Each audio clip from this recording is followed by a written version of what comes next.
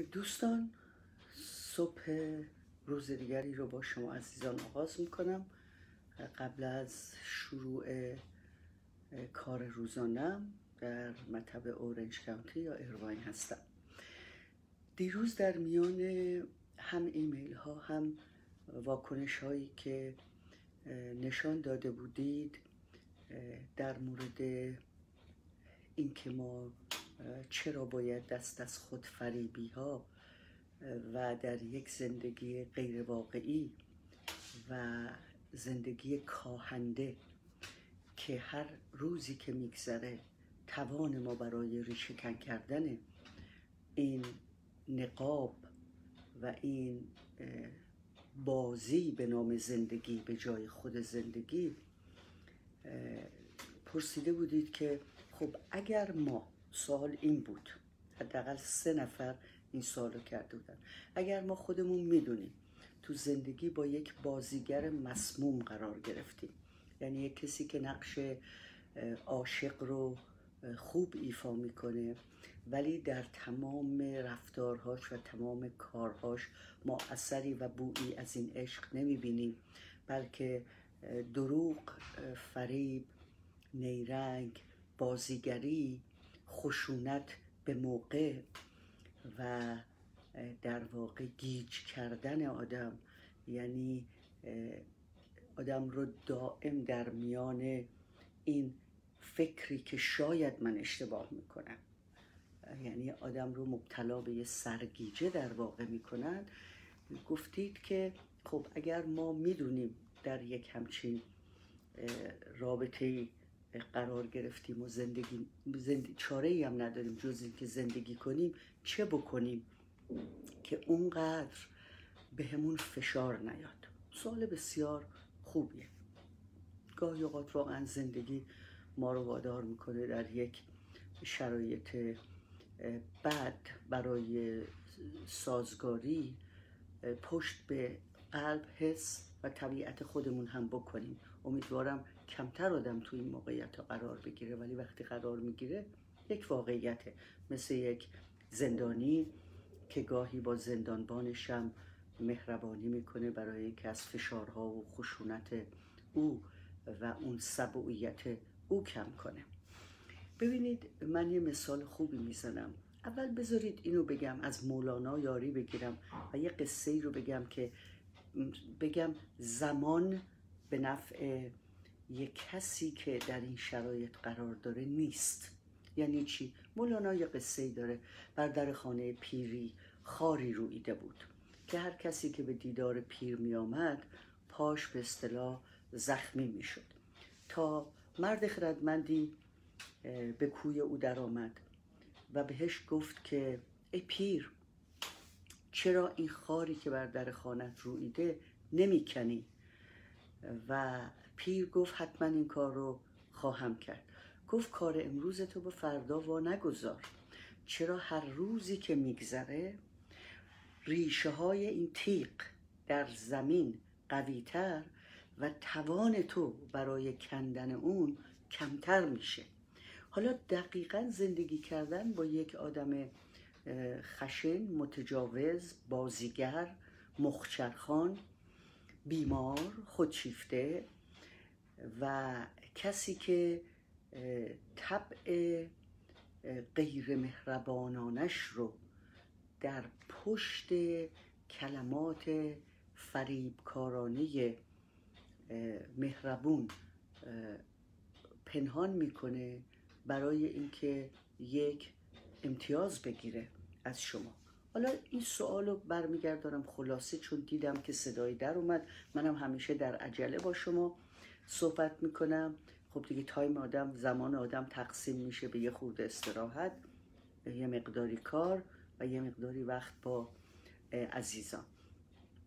چه باید بکنیم؟ حالا از اینجا می‌خوام یک حقیقتی رو که من از نوه یاد گرفتم برای شما بگم که خیلی تو کارم به هم کمک کرد. من پیانو بلد نیستم. بلدم شش تا دکمه رو نمی‌دونم آهنگ شکوفه میرقصد. اونم به خاطر اینکه آکاردون می‌زدم از به اصطلاح دکمه های آکاردون ولی پیانو بلد نیستم بزنم. و بچه ها نوه ها کوچیکتر که بودن من روی دکمه های پیانو همطوری هی بازی می‌کردم و اینا و اونا حالا به هیجان میمدن و میرخصیدن خب حداقل یکیشون یادمه. بعد یه کمی که بزرگتر شدن و فکر می‌کنم خودشون حتی شده بود که درسای پیانو میگه و الان پیانو می‌زنن خیلی خوب ولی درسای پیانو رو می‌گرفتن. من همین بازی احمقانه خودم رو ادامه می‌دادم و این دختر اول اومد وسط که من یه خورده که زدم اومد برقصه بعد یهو استاد گفتش که نه. این دوست ندارم اینجوری که می‌زنی. و من دیگه دستام رو دکمه ماسید. انگشتام رو دکمه ماسید. حالا چرا اینو دارم میگم تو کارم آوردم؟ وقتی خوب فکر کردم دیدم حرفایی که تو این چند ده ساله من از افراد میشنوم مثل اینکه اگر ما به ساز ناهنجاره کسی که باهاش زندگی می‌کنیم برقصیم اون خیال می‌کنه واقعا این همون ساز درستیه که باید بنوازه. حداقل کاری که ما می‌تونیم در یک همچین موقعیت ها بکنیم که بسیار به نظر من هم سالم و هم برای ما توان بخش و هم برای او توانگیر خواهد بود اینه که ما به ساز اونها به ساز ناموزون اونها نرخصیم یعنی چی؟ یعنی اون اگر میاد قربون صدقه میره بعد می‌خواد بشینه با ما بازی کنه حالی بکنه نمی‌دونم یه درینکی بخوره یا حتی وارد یک مغازله های عاشقانه بشه ما به این ساز نرقصیم.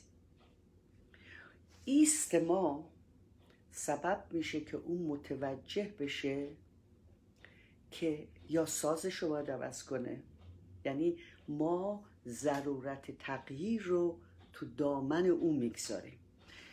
یکی از بزرگترین مشکلاتی که من تو مطب می‌بینم وقتی هست که اون آدم هر بلایی سر حالا چه خانم باشه سر آقا چه آقا باشه سر خانم هر بلایی سر اون میاره و بعد میاد یه قربون صدقه میره و من شروع می‌کنم به ساز او رقصیدن. اینجاست که این سیکل باطل ادامه پیدا می‌کنه. اگر من به دلیلی از رفتار این آدم رنجیدم وقتی که او می‌خواد بیاد سازش رو کوک کنه من باید مثل اون بچه بیستم بگم این آهنگ رو دوست ندارم. حالا اگر دلت می‌خواد با من دوباره رابطه برقرار کنی به من با من وارد یک گفتگویی شو که با گفتگوهای قبلی فرق داره. و در اینجا بهترین جایی هست که ما می‌تونیم به اون طرف بگیم ببین رابطه من و تو یه رابطه سالم نیست و توی رابطه ناسالم هر دو طرف آسیب می‌بینن.